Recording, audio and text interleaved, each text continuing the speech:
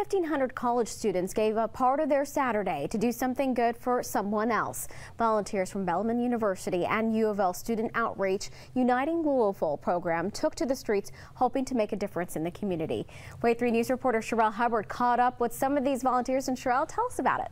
Well, Myra, nearly 700 U of L students participated and just as many Bellarmine freshmen and their Knights in Action Day of Service. Now, these students worked throughout the day cleaning up schools and even cemeteries. They say they just want to leave these places a little better than what they found them.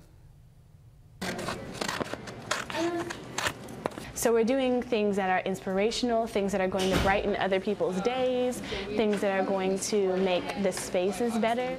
Sydney Gordon is one of several U of L students making crafts and putting together activities for kids at the Family Scholar House. While the students may have different motivations about volunteering, they're all rooted in good intentions. It just makes me smile, to be honest. Um, I guess I'm kind of selfish in that way that it makes me feel really good to help other people. So that's why I do it because it makes me happy.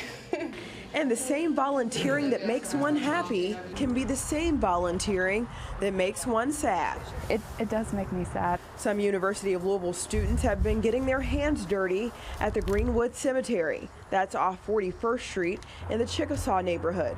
It's a place that's been neglected over the years where illegal dumping and overgrown grass has taken root. One volunteer says it bothers her that the deceased are not only dead and gone, but also forgotten.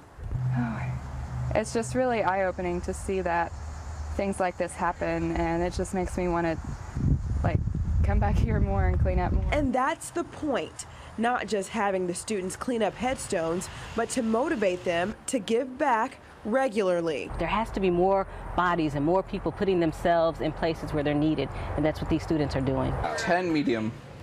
Whether it's folding clothes or sorting dishes, sometimes one person is all it takes to give several people a hand up. And whenever you meet somebody always imagine that that person could be the most important person in the world, but you don't know it yet. Most of the volunteers helping out today were incoming freshmen, a lot of them not even from Louisville. Many just moved into the city. They just brought with them a can-do attitude, which is great.